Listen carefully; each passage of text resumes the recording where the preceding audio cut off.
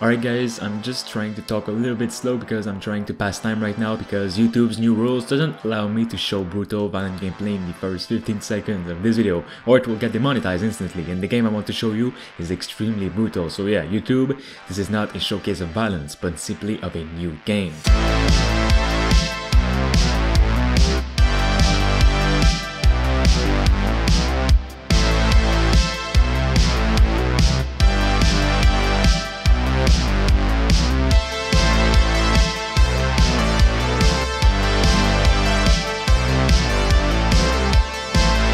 Complement yesterday's video that I made, here's a look at a brand new action combat game called Super 1337 that's still in early development but is making some massive progress every single day. To help with this, the developer working on it will be releasing a free demo of the game on Steam very soon.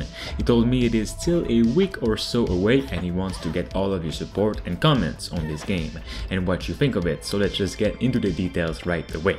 Now first of all, this game is all about slow motion brutal dismemberment and going through waves of enemies and different levels with different classes of your liking and I'm absolutely loving the dismemberment system here that he was able to create. It's like a classic brutal action movie. The combat in Super 1337 is a mixture of finesse and thought it is said, encouraging careful consideration of move sets and combos in the split seconds of bullet time afforded you.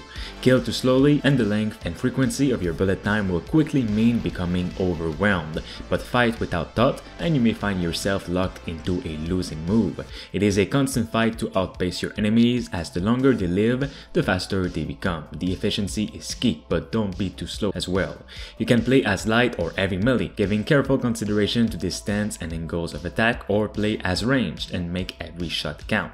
With the light melee, movement is king, or in this case queen, as by far the most agile of the characters, Simmer has the most control over his speed and her combat capabilities reflect this. With the heavy melee, he's far more movement restraint. Karate Knight can take much more damage than any other character and has wide sweeping moves that's to make up for his lacking attack speed. And finally you can play as the bodyguard which, which is the ranged combat where you'll be able to choose from a variety of ammunitions as the situation calls for it and time your reloads well. You have devastating power and control until the bullets run out. You also have a combat knife and if you're not careful you'll be using it more than you'd like to. Let me know what you guys think of the game right away in the comments and like this video for more new games and subscribe subscribe as well.